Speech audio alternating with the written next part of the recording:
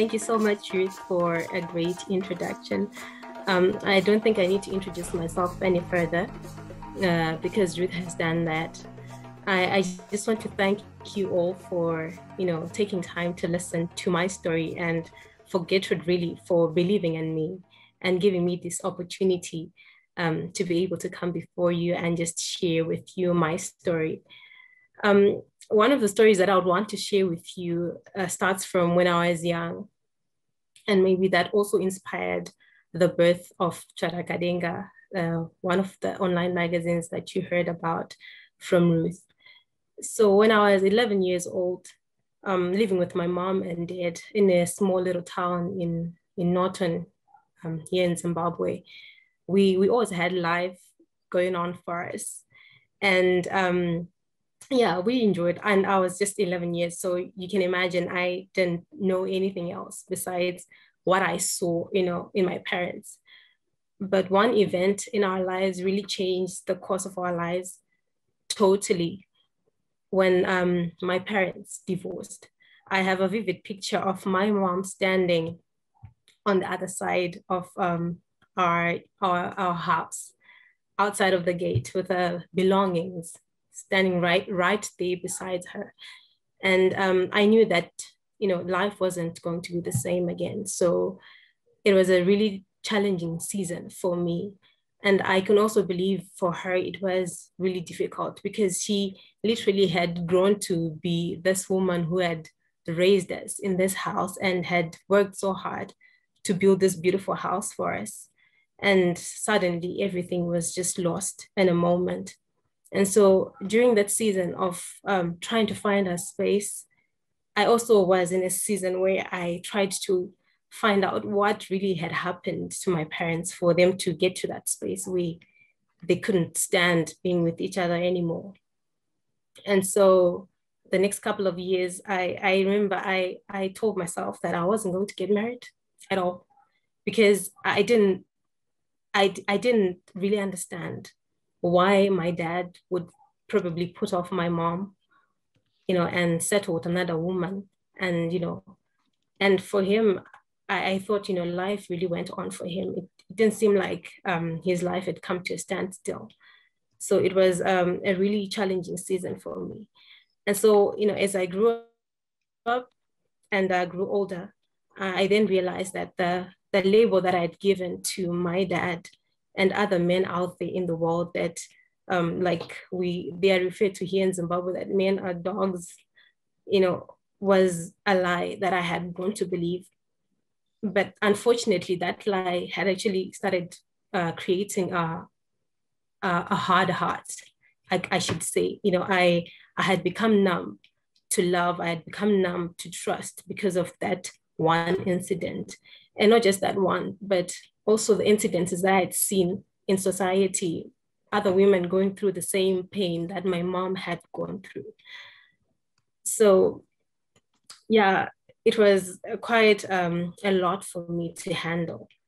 But I, as I said, I grew up and I found the love of my life, and I realized that the the picture that I had that all men were dogs was a lie. That one incident that happened, or that one uh, event that happened in my life when I was young, yes, it, it really did something to my heart, but it wasn't a truth that I was supposed to hold on to forever.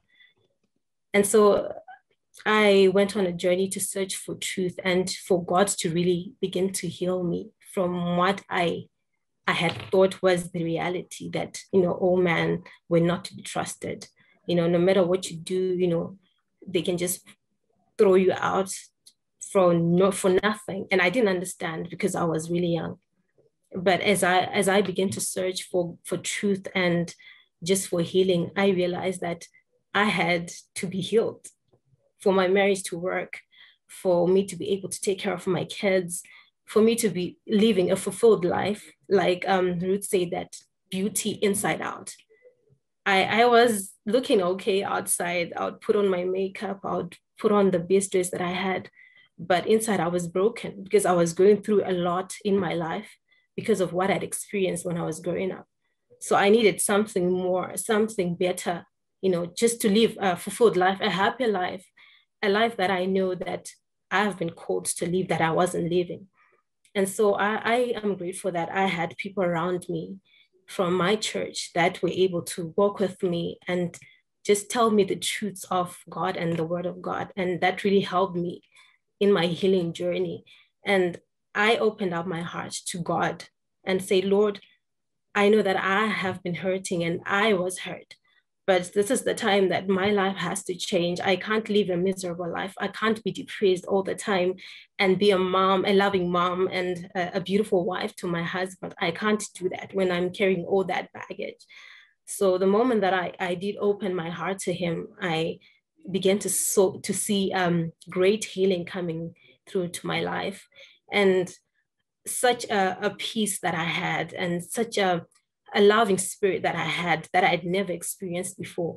And I was I was really impressed with um, what God has just uh, just begun to do in my life because I I was living in a space where I was a bitter woman, I was an angry woman, I was uh, a contentious woman. I would be irritated by the simplest thing that you can ever think of. But just me um, being in that space where I'd experienced that life and be and being able to experience this life this better life that i was living now really made me realize that true beauty really isn't outside in it is inside out. No matter how beautiful a person looks outside if they're hurting and they're broken you know that all is is vain.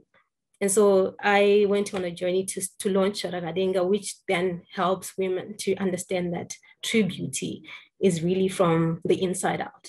Here in Zimbabwe, we have a lot of women, and also I have family and friends that I know that have gone all out to change their skin tone, to change the way they look outside because they want to impress the world or they want to look like somebody else. But that is not fulfilling. You know, it's like living someone else's life.